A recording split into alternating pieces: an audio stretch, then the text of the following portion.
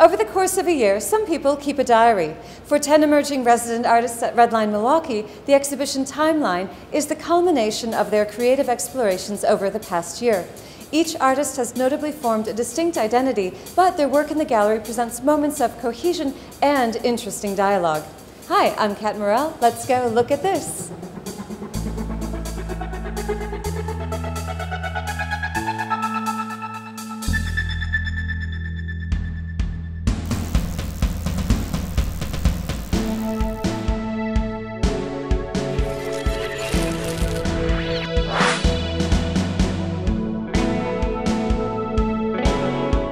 One of the missions of Redline Milwaukee is to be an active presence in the arts and in the community.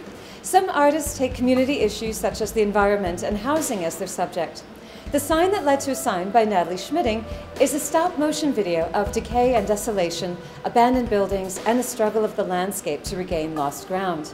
The changeability has a somewhat sublime quality, as the grainy textures seem to allude to the forces of nature as a constant but also changeable force.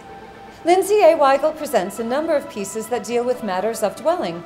At first, it might seem like a sort of utopian architectural idea, the ability to live small in a diminutive trailer, but Weigel proves the point with the footprint marked out on the gallery floor.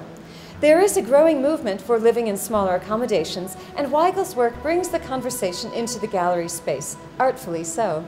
Stylistically speaking, a number of the painters on view have an expressionistic quality to their work, particularly in choices of color and dynamics of brushwork. Skelly Gustafson is playful but smart. His bold works are dense with imagery, evocative of biomorphic shapes, and every now and then, a recognizable shoe amidst the layered, translucent colors.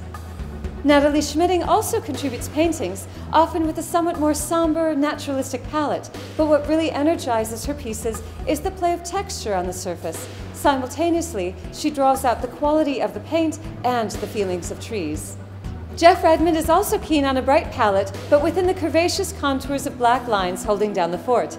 His backgrounds are often a bit softer, cloudier, which presents a floating sense of distance for the solidity of the foreground arrangements. Nina Ghanbarzadeh is the most delicate of the artists shown.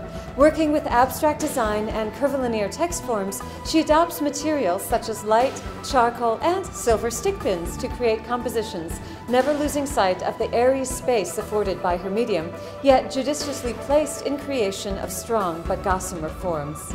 There are many other artists to see in Timeline, which is running concurrently with an exhibition called Existentialism, a show that features six young artists from Redline's teen residency program. So make some time, check out these and the other artists in Timeline and Existentialism at Redline Milwaukee. Thanks for coming along. See you again next time when we'll look at something else.